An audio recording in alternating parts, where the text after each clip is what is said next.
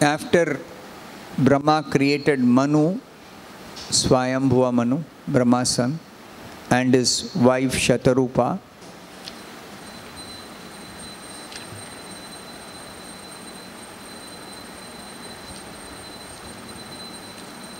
he created them to increase the progeny, populate the universe. And exactly as per the desire of Brahma, his son Manu is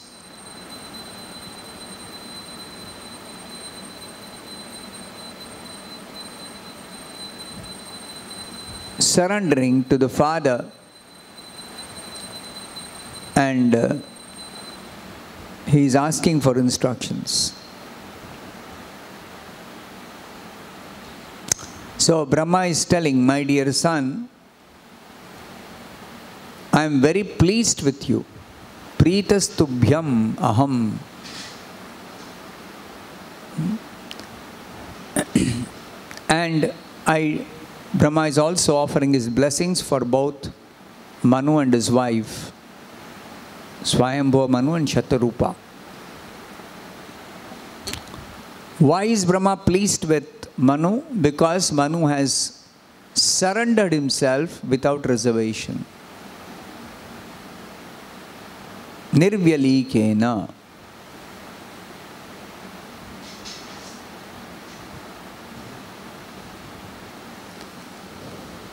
And the purpose of the surrender is to receive instructions for carrying out his duty, his assigned duty.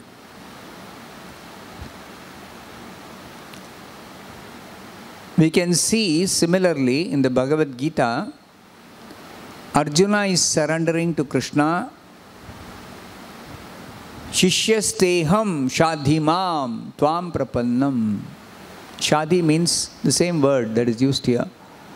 Instruct me. Tvam prapannam. I have surrendered to you as a shishya, as a disciple. Here, uh, Manu is surrendering as a son to the father. Atmana arpitam.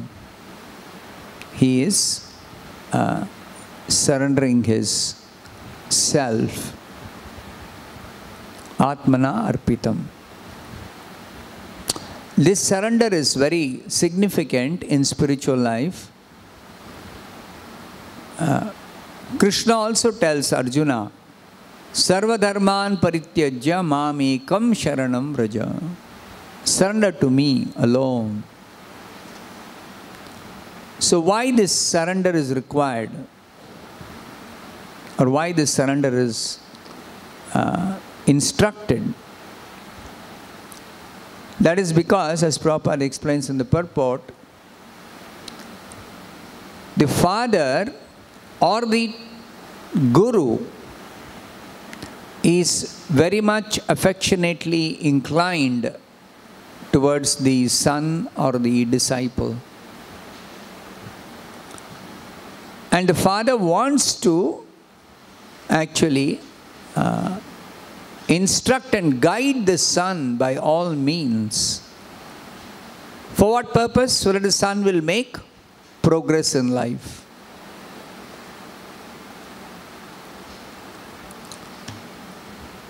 So, what is uh, implicit in this understanding is that we are born into ignorance. We are born into ignorance. So we require to be enlightened by superior authority. That is required. And if we are to receive enlightenment, our attitude should be one of surrender without reservation. Without reservation, what does it mean? It means that there is no other motive ulterior motive, some hidden agenda. There is no such thing. Uh, this is also called arjavam, a Brahmanical quality. Simplicity, no duplicity. That means when Manu tells, the son is telling the father, I surrender to you, kindly instruct me. He actually has no other intention other than actually receive instructions and follow. Not some conditions that he is putting. Unconditionally, he is surrendering and he is ready to receive instructions. So, such surrender requires faith. This is not the kind of uh, blind faith that uh, sometimes surrender is misunderstood. When Krishna says surrender, or when Arjuna says, I surrender to Krishna, then people think that, oh, this person is very weak, or he is foolish,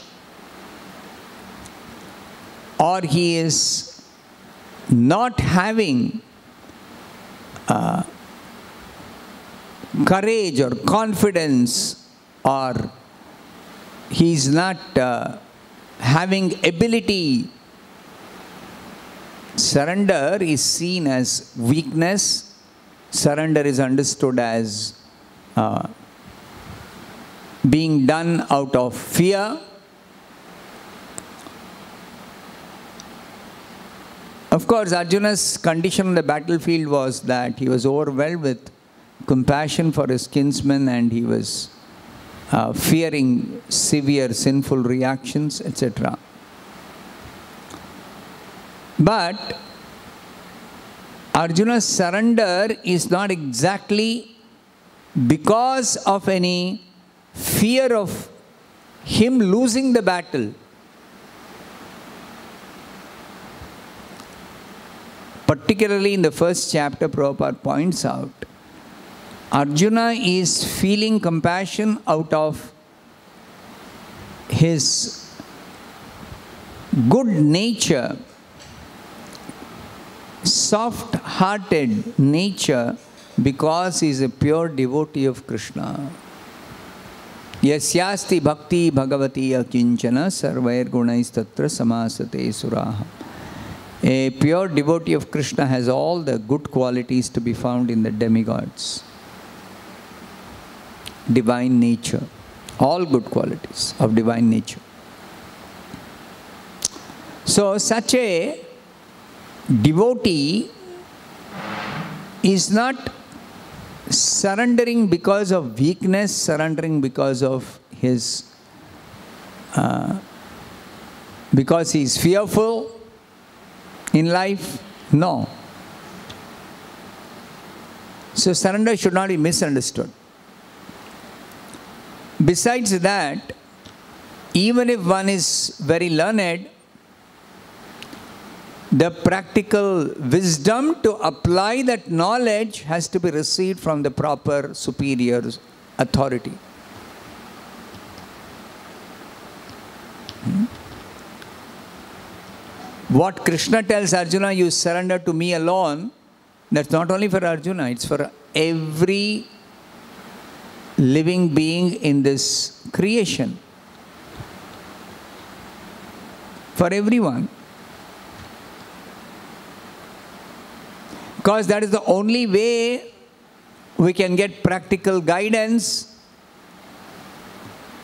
how to come out of this entanglement, how to come out of ignorance, how to come out of the material suffering. There is no other way. We require Krishna's perfect guidance we require that. Whatever be our position in this world. So, such training to surrender to Krishna in the Vedic culture is given when in the beginning itself the child is taught to follow, obey in a disciplined way the parents. In the 17th chapter, Austerities of the Body, Krishna describes Deva Dvija, austerity of the body. देवद्विज गुरु प्राज्ञ पूजनम। Which is the verse 17 point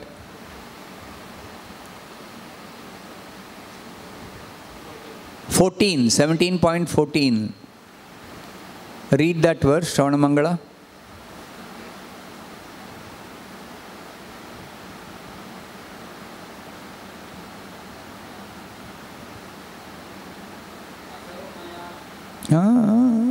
17.14. Which chapter are you opening?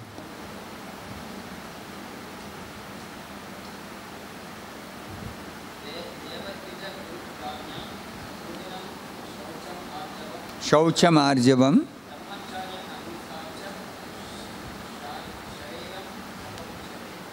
शरीरम तपोच्यते शारीरम तपोच्यते शारीरम शारीरम तपोच्यते So, Deva Dvija, Guru Prajna Pujanam. Uh, worship of respectable superiors. Beginning with the Supreme Lord, Deva, Dvija, the Brahmanas, qualified Brahmanas, uh, Guru, the spiritual master, and Prajna means, Prabhupada says, respectable superior like father and mother. So that's where it begins this discipline or training uh, in surrender.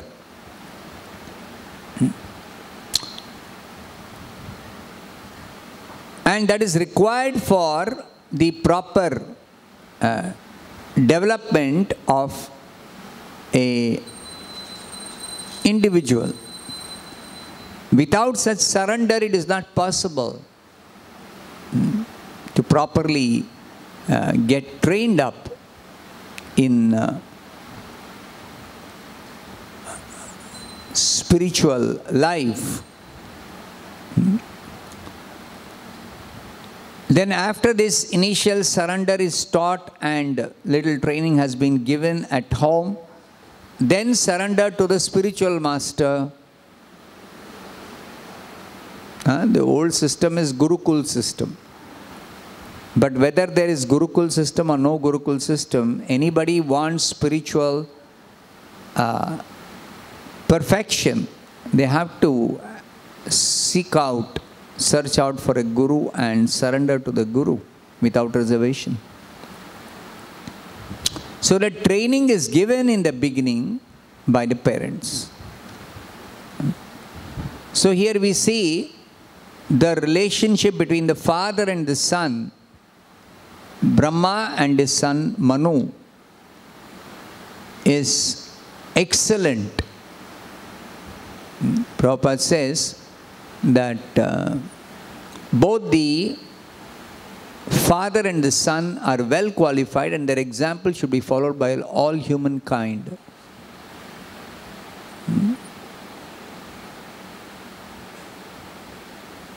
Where is that? The father and son relationship as exhibited here in the dealings of Brahma and Manu is excellent. Hmm? Generally, the father is naturally disposed with goodwill towards the son. But sometimes the son becomes misguided because of misuse of his small independence. The independence is always there. Living being means independence has to be there. So that independence can be misused. So when there is misuse of independence, then the son or the disciple becomes misguided. Sometimes we have seen example of uh, Prabhupada's disciples, they misunderstand Prabhupada's instructions and they leave and go away. There was one disciple of Prabhupada uh, who, when he heard from Prabhupada that that was the time when America was sending uh, uh, people to the moon.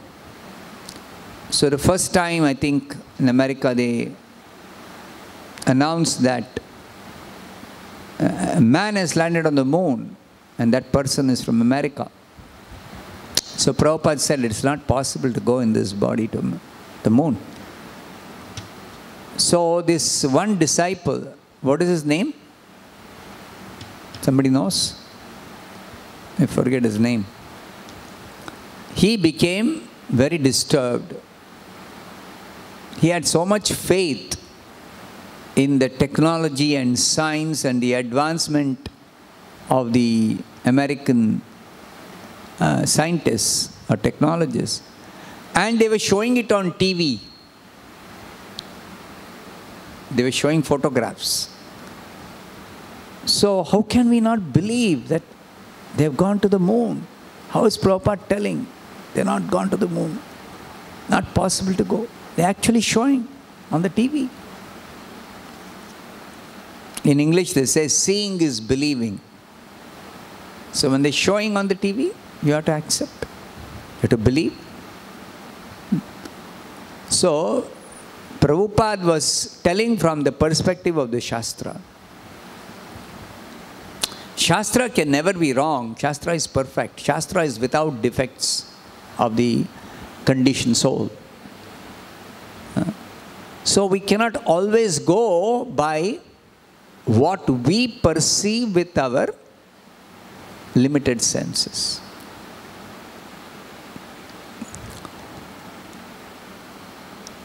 So Prabhupada says, and elsewhere, another place, that one may not accept the statements of the spiritual master sometimes, but the Shastras cannot be wrong. The Shastras are perfect.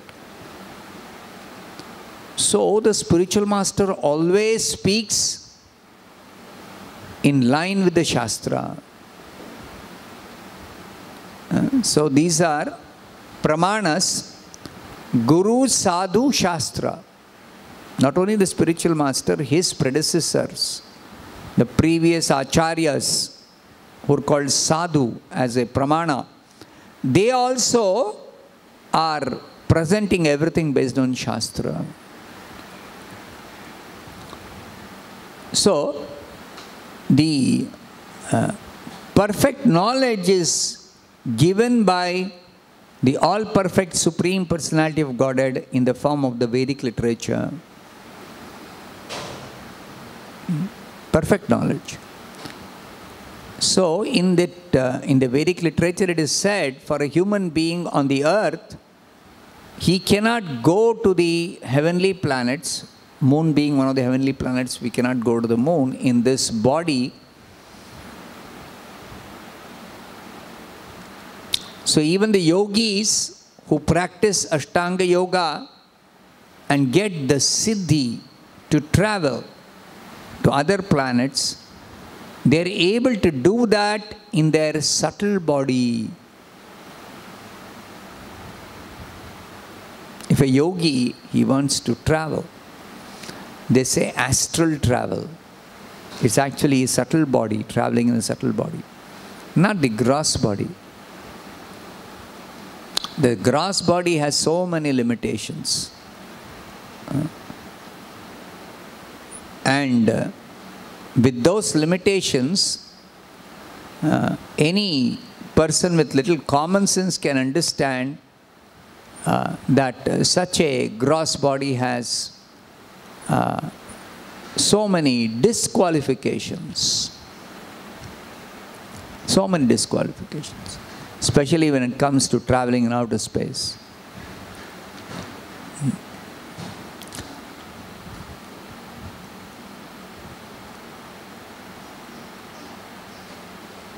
So, uh,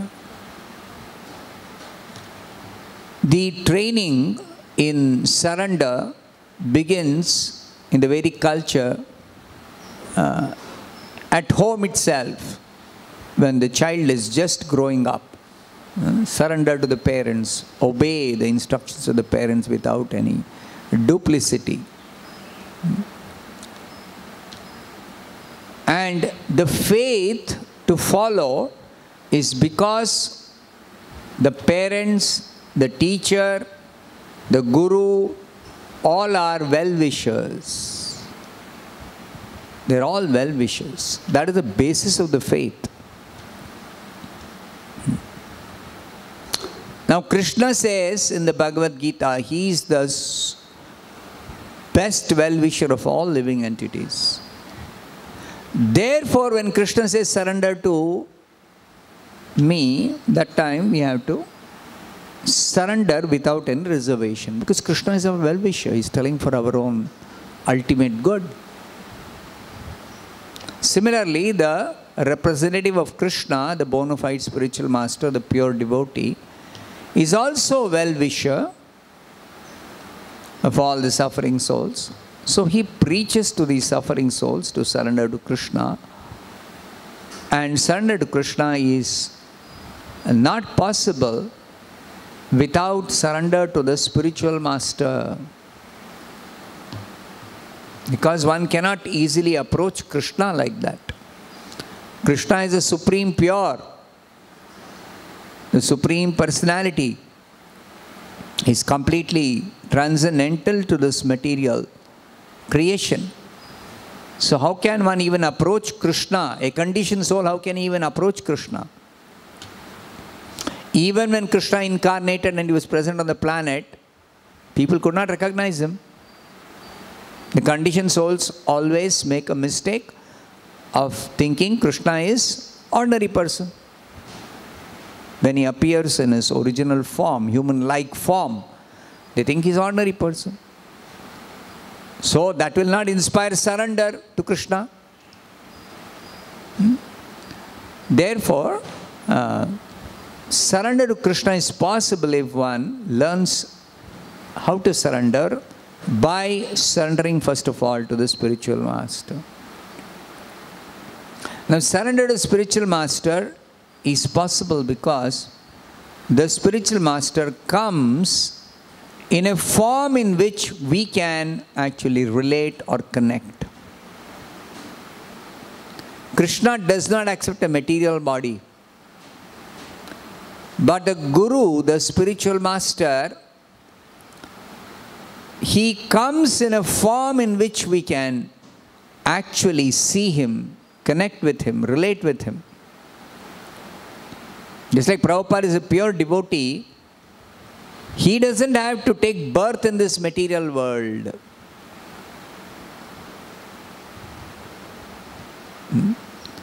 In a uh, material body, he doesn't have to come. But he does that for our sake. But because he utilizes his material body exclusively, entirely for devotional service, it's no longer material. It becomes spiritualized. And such a spiritualized form is always worshipable in all conditions. In all conditions, it is worshipable. Iha yasya harer dasye karmana manasagira निखिलास्वपि अवस्थासु जीवन मुक्त सौच्यते he is liberated under all conditions because of his engaging his body, his words, and his mind entirely in devotional service to Krishna. It's like iron in hot, in uh, contact with fire, becomes red hot, iron will act like fire. Iron doesn't become fire. Iron is iron, fire is fire. But iron acts like fire. So that's why people have difficulty in understanding. If you say Prabhupada's form is spiritual, why is it Prabhupada sometimes becomes sick, ill? Why are there symptoms of old age? Spiritual form, no old age, no disease. Hmm? So we should understand that the characteristics of the material body as regards the material nature will remain the same. Hmm? But the spiritual quality is in terms of that spiritual body completely being utilized for devotional service. What are the proof that is entirely used for devotional service? Even when Prabhupada is sick, he is Krishna conscious. Even when he is sick, he is Krishna conscious.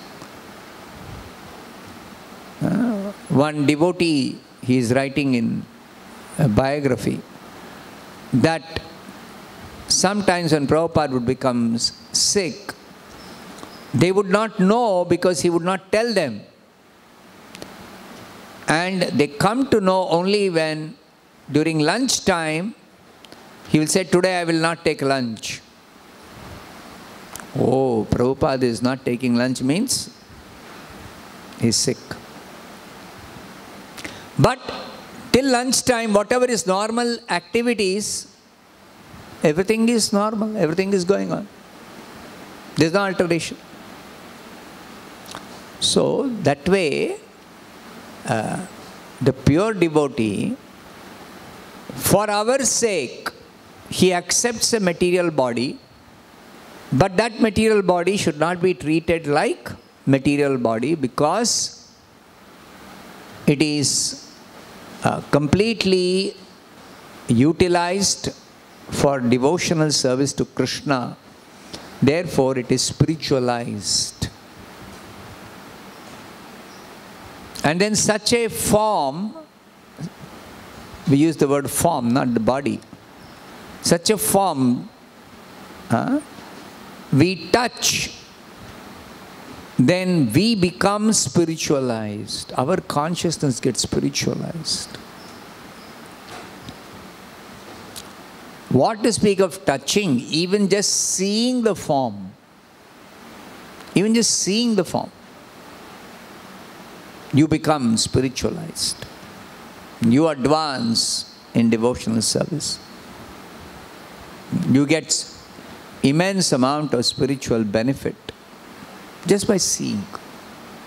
Narottam Das Thakur says that uh, darshana pavitra karo e tumara gun.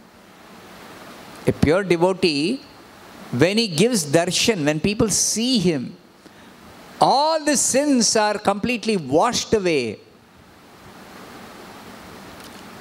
All the sins are washed away just by seeing him. So that body is not ordinary body. That form is not ordinary form. It is not even like the form of the yogi, which by yoga practice has become you know, uh, a Siddha Deha, a perfect form with so many material perfections. It is not like that. Prabhupada doesn't have to practice yoga. All the mystic powers of a yogi a pure devotee automatically has got them. All the mystic powers. So that transcendental form has to be worshipped. Just like Krishna is completely spiritual, we worship Krishna's transcendental form. Exactly like that, we have to worship Prabhupada's spiritual form. So, this is difficult to understand for the non devotees. Uh, unless one uh, practices devotional service, one cannot even begin to understand. Uh, they say, Why do you worship uh, human being? Sometimes people come to our temple and see the way we worship Prabhupada. Why do you worship human being? They say, We understand you to worship God, but why do you worship human being? So the reason is that pure devotee engages his body, mind, and words entirely in Krishna's service all the time, in all circumstances. Never he utilizes it for sense gratification. So that's the reason he's worshipable.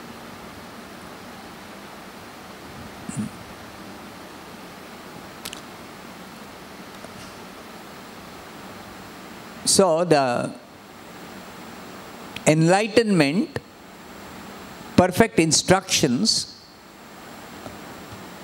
are received and one becomes enlightened by surrender without reservation. Nirvyalikena. This word, nirvyalikena, is used in different ways in the Bhagavad Gita. Uh, Krishna से माम च यो अव्यभिचारेण भक्ति योगे न सेवते। अव्यभिचारिणी भक्ति without reservation without any duplicity without any hesitation so many ways we can describe this surrender what is a quality of surrender Unlike those who surrender to the demigods, kamais taiste hritagyana prapadyante anya devata. Somebody who surrenders to the devatas because they are driven by lusty desires for material enjoyment and they expect the devatas to favor them with some material benefit, that is not uh, the proper surrender. That is not proper surrender. That you cannot call nirvyalikena atma arpitam. No. That is full of material motivation. So, such surrender is all temporary, conditional, it is uh, full of calculations. So many calculations. If I worship Ganesha, then I will get this benefit. If I worship Shiva, then I'll get some other benefit. Uh, so, that sort of a surrender is not surrender actually. Surrender means without reservation and with the full confidence that the person to whom I am surrendering, my object of surrender, is my topmost well wisher. Is my well wisher. So I have no demand. I have no demand. In fact, here Manu is asking his father Brahma, please instruct me. This is not a demand. This is simply to carry out the order of Brahma. To carry out. Just like Arjuna says, Karishye vachanam tava. I'll carry out your instruction. So, uh, that is the uh, proper surrender. To carry out the instructions, to follow the instructions. So it is possible if we surrender without reservation, uh, and such surrender is uh, actually uh, possible when we have the faith that the object of surrender is my actual well wisher. Is my actual well wisher. He has no other motive. He is not uh, driven by the desire for having some followers. He doesn't want followers for the sake of his prestige or for the sake of his sense gratification. He is free from all this business of sense enjoyment. Is pure. So, therefore, surrender is possible only to the pure devotee, not to another conditioned soul. No.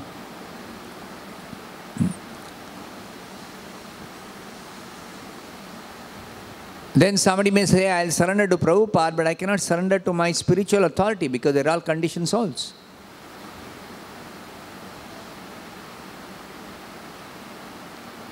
So, Prabhupada, he has made the system that when he is not physically present, then his instructions are received through the proper channel of the spiritual authority system that he has established. Now, the, uh, the faith and the confidence for a devotee to follow the spiritual authority and take instructions and carry out those instructions is based on the understanding that the authority themselves are surrendered to Prabhupada and they are acting as per Prabhupada's instructions and directions in passing on the instructions very faithfully. This is the basis.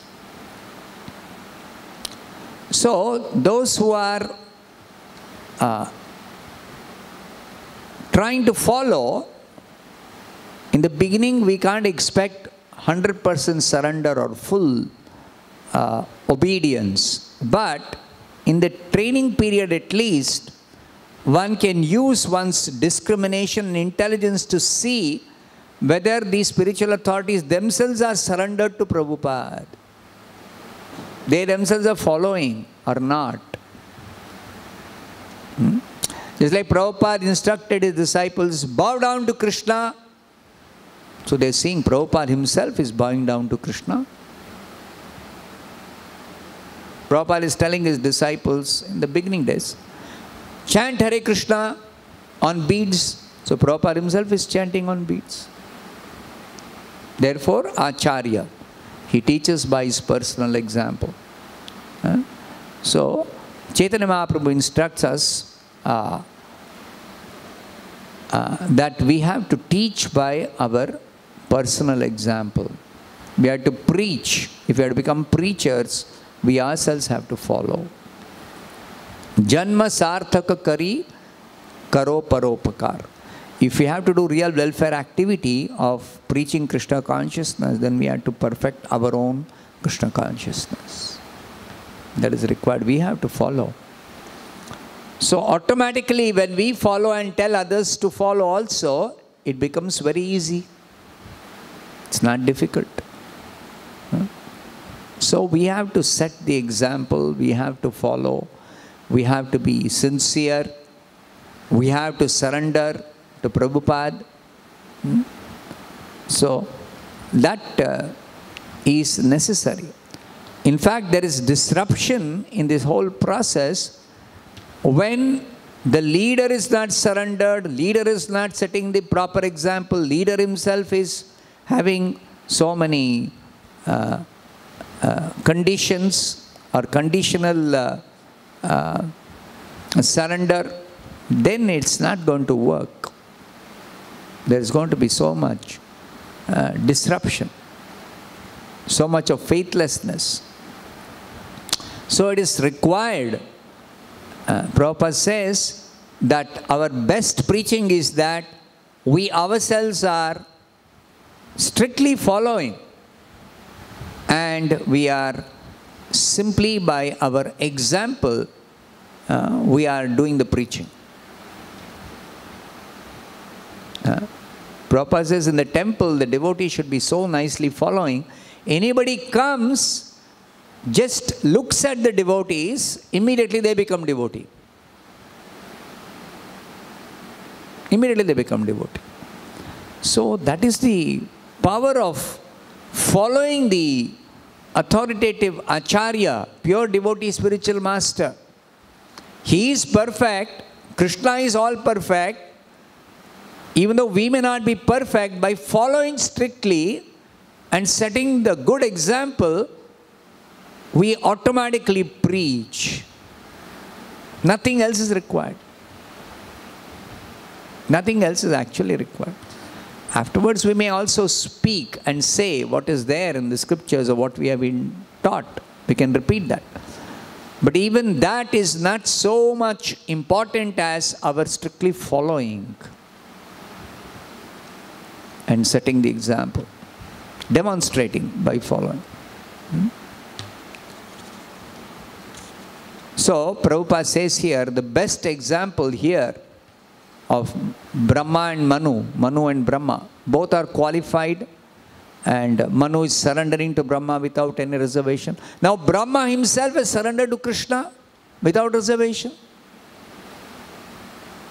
So, he is ideal. Ideal, he is ideal. But even if he is ideal, sometimes the misguided son or disciple will deviate, will not follow. So that is an unfortunate situation. Because the independence is there, free will is there, misuse of that independence means they will not surrender. So, surrender is required and surrender has to be properly uh, uh, the object of surrender has to be selected properly, the pure devotee and the sincere followers of the pure devotee. Both are required. Not only the pure devotee, but also the sincere followers of the pure devotee in their association, in their uh, sangha, uh, that we can actually properly uh, surrender to the Guru and uh, by surrender to the Guru, we surrender to Krishna and uh, make life perfect. I'll stop here. Grantharaj Srimad Bhagavatam ki jai, Srila Prabhupada ki.